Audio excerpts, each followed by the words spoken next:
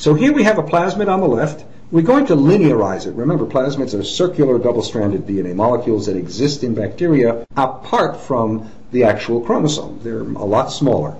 If I treat with a restriction enzyme that cuts this plasmid open at one site, I end up with a linear piece of DNA with sticky ends. Now, I've got these cDNAs, and I don't really want to cut those, but I do want them to have sticky ends. So what I do is I synthetically produce what's called a linker, which has the same sequence of bases that would be recognized by the restriction enzyme I intend to use, and I ligate them to the cDNAs, and I get this array of cDNAs each with synthetic DNA on either side that contains a restriction endonuclease site. So I've used DNA ligase to stick them together, and hopefully that's what I get. And now if I treat this material with the same restriction enzyme, I will indeed get double-stranded cDNAs with sticky ends. Now I can add these two end products together.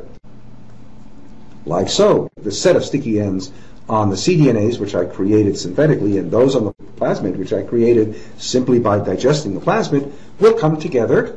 And now I can add DNA ligase again, and I get plasmids with inserts. And if I do this in just the right way, I get plasmids with all the different possible cDNAs representing all the different messenger RNAs that were isolable from these red blood cells. These are then all recombinant plasmids, each with, we say, a different insert cDNA, a different insert.